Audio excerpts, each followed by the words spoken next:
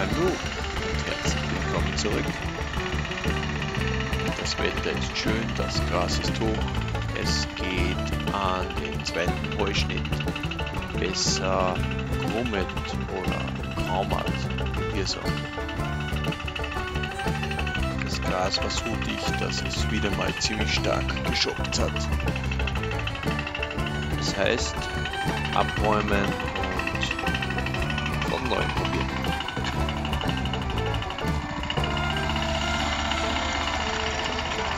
Aber die Adria macht das schon.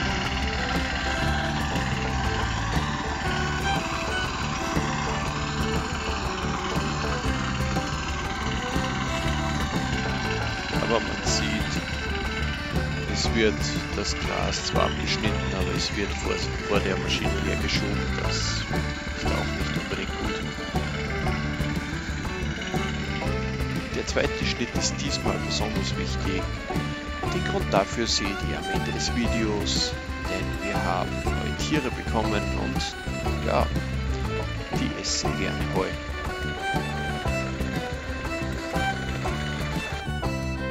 So, das ist unsere zweite Wiese. Wir haben links und rechts nicht alles abgemäht. Wir brauchen das als Frischfutter für die Tiere und eventuell zum Abweiden lassen. Hier liegt das Heu schon auf Schwad, das heißt es liegt äh, in der Mitte, damit links und rechts die Wiese am Morgen besser abtrocknen kann, sonst äh, wäre das Ganze dem Gras wieder nass. Und hier probiere ich etwas Neues, nämlich äh, das Gras am Abend auf Heumandeln zu schmeißen, damit äh, genauso wie wenn man auf Schwad legt, einfach die Wiese besser abtrocknet. Das ist kein Trockengestell, sondern wie gesagt nur dazu da, um das Heu äh, am Abend von der Wiese fernzuhalten. Denn morgens äh, ist sehr viel Tau auf der Wiese, vor allem so spät im Jahr, wie wir jetzt schon wieder sind. Die Tage werden schon wieder viel kürzer. Merkt einfach, die Nächte sind feuchter. Es hat auch sehr viel geregnet die letzten Wochen. Von dem her war es für mich die beste Lösung, das Heu zumindest auf dieser Wiese auf die Heumandeln zu hängen. Diese Art nennt man glaube ich tschechische Heumandeln, eine absolut geniale Konstruktion. Ausgeklappt und kann richtig viel Heu draufhängen.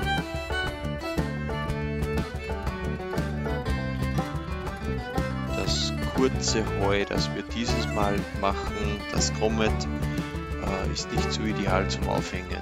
Wie gesagt, das erste, erste Schnitt, das erste Heu, das sind viel längere Fasern. Und hier hat man doch wesentlich kürzere Fasern, da die ja nicht mehr so hoch aufgewachsen ist.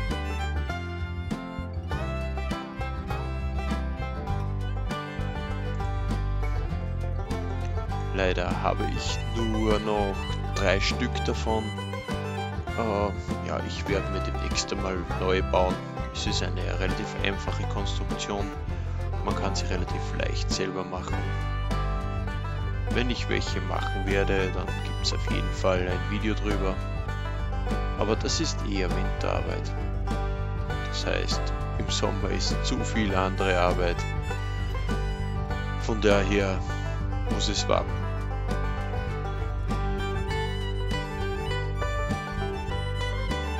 Man sieht hier, das Heu ist noch sehr grün, das ist sehr viel richtig frisches Gras drinnen.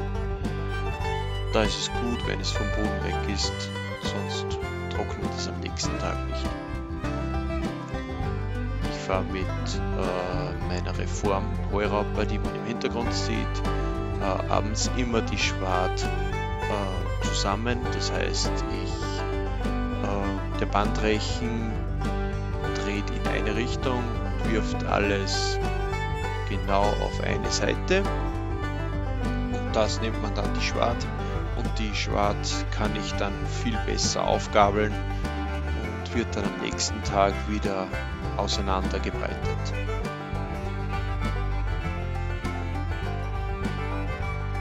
Und man sieht, auf so ein Heumandel geht eigentlich sehr viel Heu drauf. Anfangs geht noch mehr drauf, weil das Heu wird, je trockener es ist, bekommt es mehr Volumen. Das heißt, dann kann man nicht mehr so viel drauf werfen, weil es einfach zu voluminös wäre.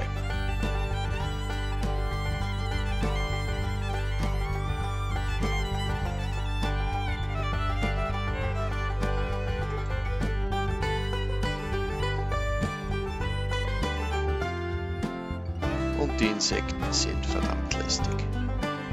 Sehr viele Bremsen und auch Pferdebremsen richtig groß, richtig fies.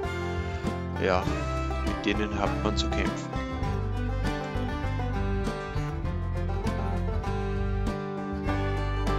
Die Kinder haben die Heumandeln dazu verwendet, darin Verstecken zu spielen. Sie sind ja fast wie ein Zelt, ein Heuzelt.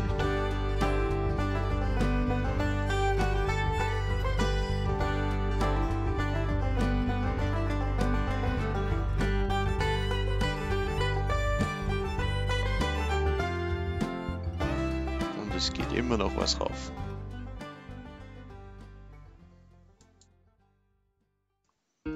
Die Art der Heutrocknung wird eigentlich nicht mehr recht oft verwendet. Jetzt geht man einfach dazu über, dass man einfach, ja, man wendet das Heu einfach ein, zweimal mehr. Wenn man das von Hand machen muss, wäre das ziemlich viel Arbeit. Von dem her habe ich gleich mal ausprobiert ob das Heu auf den Stellen, wo ich äh, es auf die Heumandeln hänge, nachts, ob es dort besser oder schneller trocknet. Außerdem fände ich, dass solche Heumandeln sehr gut aussehen. Und es ist eine alte Tradition, von dem her, ja, sollte man nicht aussterben lassen. So, das war's. So sieht die Schwad morgens aus, also eher Richtung, ja, fast schon Mittag. Die Sonne kommt relativ spät bei uns über die Bäume. Wir sind in einem kleinen Tal. Von daher müssen wir warten, bis der Boden abtrocknet. Hier sieht man viele grüne Bestandteile noch drinnen jetzt ist es gebreitet, das heißt einfach grob auseinandergeschmissen. Und jetzt lassen wir es trocknen.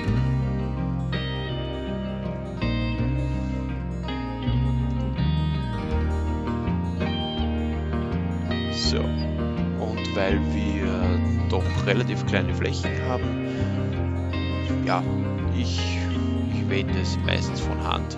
Es wäre viel zu umständlich dafür, die Heiraupe anzustarten. Dann wirft sie alles wieder auf einen Schwad, dann kann man diesen Schwad wieder auflockern. Das ist im Endeffekt doppelte Arbeit, dann mache ich es lieber gleich so. Es sind ja kleine Flächen. Für große Flächen habe ich dann noch einen äh, Z-Kreisler, also einen Heuwender der geht aber nur mit dem großen Traktor und den fahre ich auf solchen Flächen sicher nicht zu steil und ja, außerdem die Kinder haben auch Spaß dran.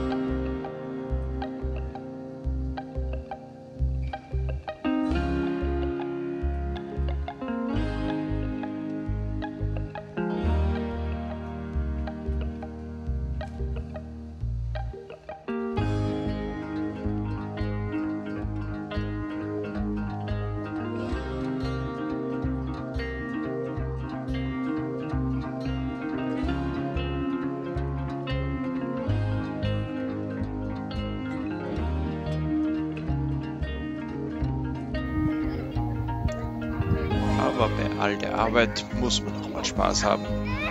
Die Kinder haben sowieso Freude. Aber jetzt, ja, muss Papa auch mal mit denen spielen.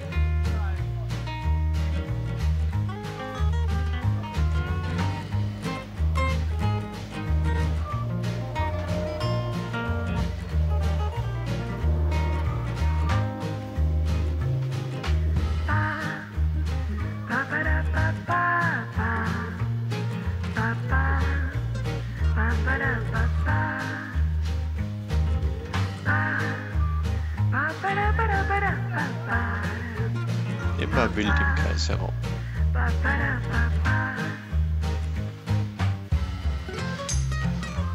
Aber niemals vergessen, wenn man sich dreht, kann einem auch schwindlig werden. Upp. Und weg ist er.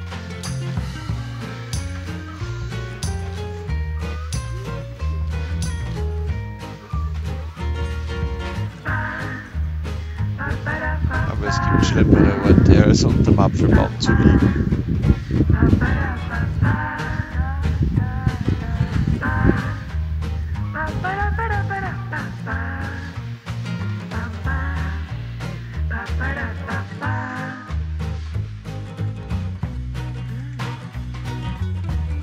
So, jetzt schnell die Arbeit fertig machen. Und dann wird auch schon zu Mittag gegessen. So, hier habe ich versucht, das mit der Heuraupe ins Bild zu bringen. Ja, nicht ganz so leicht. Bei der Heuraupe muss man höllisch aufpassen, da die eine Fliehkraftkupplung hat. Also man muss eben mal das Gas regulieren. Die Stange, die man oben sieht, lenkt die zwei Vorderreifen. Äh, das hält sie in der Spur. Ja. Wildes Gerät.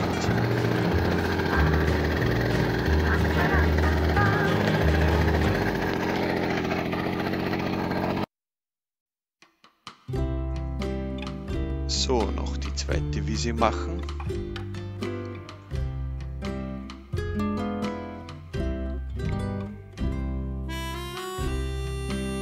Immer ein kleines Prozedere, das Ding anzustarten. Es hat keinen äh, Starter, wo man einfach nur an der Schnur zieht, sondern man muss eine Schnur äh, um den Starter herumwickeln und dann anziehen. Also er hat keine Rückholfeder für die Schnur. Aber funktioniert genauso. Und ja, meistens auch springt das Ding an.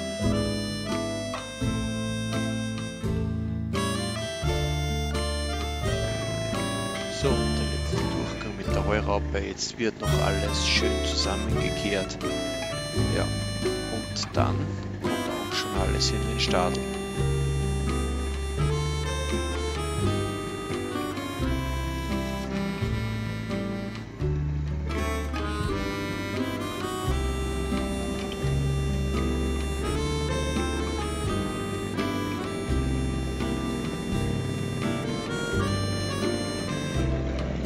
Bleiben.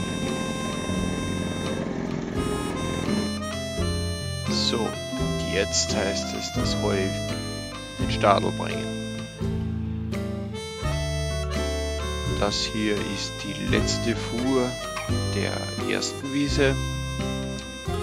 Ja, schwer. Aber es geht.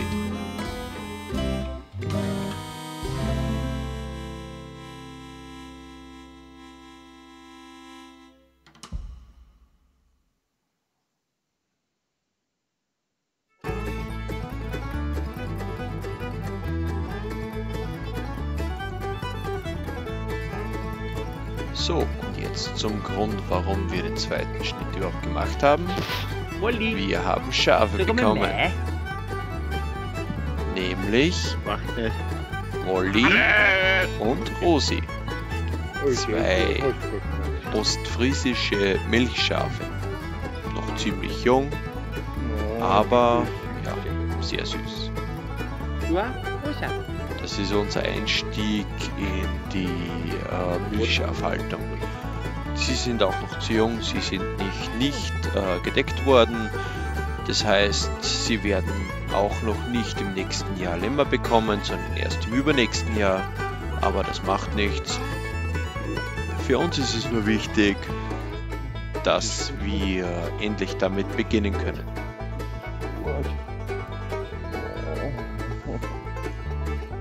Wenn euch dieses Video gefallen hat, dann lasst uns doch ein Abo da oder einen Kommentar, einen Like.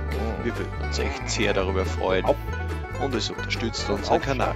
Also, bis zum nächsten Mal. Macht es gut.